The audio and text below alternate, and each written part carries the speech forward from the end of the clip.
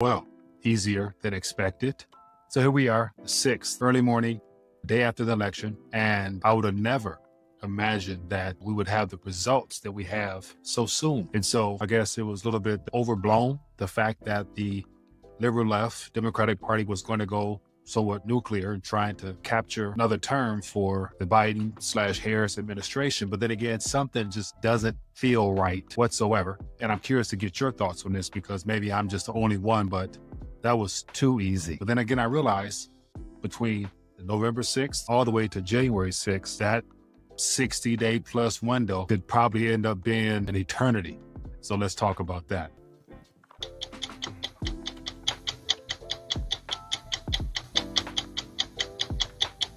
All right. So wanted to take a quick minute, share some thoughts. Here we are early morning, day after the election, and it went a lot smoother than I would have ever imagined. And then that's what has me somewhat skeptical because with all the anticipated pushback from fraudulent ballots, even here in Michigan, I've seen video footage already this morning of ballots being brought in late night, but to, to no avail because according to current statistics and all the information being given, every major news source has already called the victory for Trump. He's even given his little acceptance speech type of thing. So here we are now. What comes next? And these are the things that I want to walk through and get your thoughts on what you think is next. Because even though things appear to be optimistic, a lot of Trump supporters are extremely excited. No one, I would imagine, would have thought that it would have been this easy.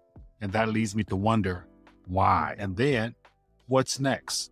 And so I wanted to share with you some thoughts about some things that could be possibilities. But once again, I want to don't want to overblow anything and go you know too far with the tinfoil hat on. But then again, we got to be realistic because we know what's at stake here. Regardless, as I mentioned before, whoever is in office, we still have a sovereign debt crisis that's looming with current interest rates of concern. And then we have the current 36 trillion in county. And so I'll share that visual aid basically showing how every president since we, we all we since who knows have been adding to the debt and the debt has grown exponential. So I do anticipate between today and January 6th some type of unforeseen or intentional event because once again we have a nation flooded with millions of foreigners of which I believe a lot of those foreigners happen to probably be young militarized age men and so once again, they weren't brought here for nothing. And so I think that some cell phones might be going off, some text messages may be given out in the days ahead or perhaps months to uh, put those individuals to work because they're not getting paid, prepaid cards, housing, food, shelter, but nothing. So once again, we'll have to wait and see. But I guess I want to just share with you some things off the top of my mind that could be possible scenarios of things to be on the lookout. So as of right now, morning, gold and silver's down, cryptos up. And so we know that the last two or three months, Trump became a crypto enthusiast in reference to him wanting to make Bitcoin a viable option for our payment structure moving forward, even throwing out words of using Bitcoin to perhaps pay off the national debt. So we'll see. And then, of course, a lot of the alternative altcoins are also pumping, one in particular, which is associated with Elon Musk and the fact that he if brought on to the Trump staff, he has a whole financial economic role as well. And so you better believe in order to get this economy back in a place of growth and stability, they're going to need to do some innovative type of things. And so I can see the technology sector, software, and the blockchain being utilized for that. But then again, and watching a video from Chainlink, which is a blockchain company who's partnered with all the world's central banks, watching a video that I actually shared on Telegram about to some of the developments that they're working towards, and they are right on course for the rolling out of CBDCs globally. So even though Trump has come out and said that he will not allow CBDCs, that is an admirable and worth noting task on his part. But then again, he has yet to address underlying crisis of the debt, which is our currency. And so he can't make America great again without addressing the debt, which is attached to the currency. And as of right now, the visual aid still stands. The purchasing power of our currency is not going to go up. And so I anticipate whatever comes, there to be more debt, more deficits, and more destruction in reference to the standard of living for us who rely upon the Federal Reserve note system. And so outside of him, probably if he gets in without any hiccups after January 6th, shake things up drastically, We'll see what type of bold policies he puts out there. But then again, because we're, we're experiencing a global monetary restructuring, I don't anticipate nothing that's going to be exciting.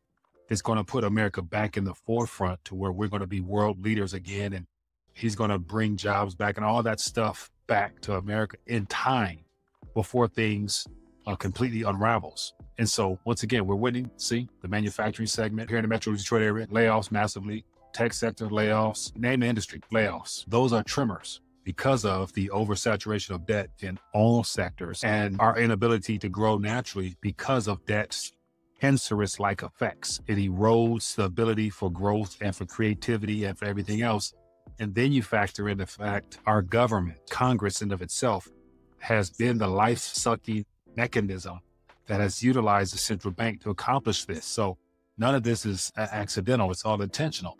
And so I will re- reserve my thoughts and opinions on the administration and the cabinet and the supporting staff that he's going to put around him until we see more fruits that falls from the tree. But between now and January 6th, it's a question. What are you guys expecting? Are there some events that's waiting to be unleashed with all this still early signs of a victory? So we'll have to wait and see. But one thing is for sure, I anticipate stock markets rally, cryptos rally, and because of the speculation based upon what Trump will probably promise in his somewhat landish calls and tweets as to what he wants to do, he's going to juice the markets because he wouldn't want to cause any type of jitters or uncertainty that would have this house of cards coming down intentionally on his watch. And so that's another thing to consider. Will the Biden administration do something stupid, hand over this economy by breaking it down to its bare knuckles, bare knees, so that come January 6th, Trump is forced to start trying to rebuild the economy because it's already crumbled. So I would more so lean towards that side that this current administration would not hand over or will not hand over a functioning economy to the new next administration, given the fact that they appear to be that left good guy, bad guy. They're not going to want to help their enemy type of thing. But all along, behind the surface, there's controlling forces that are still at play.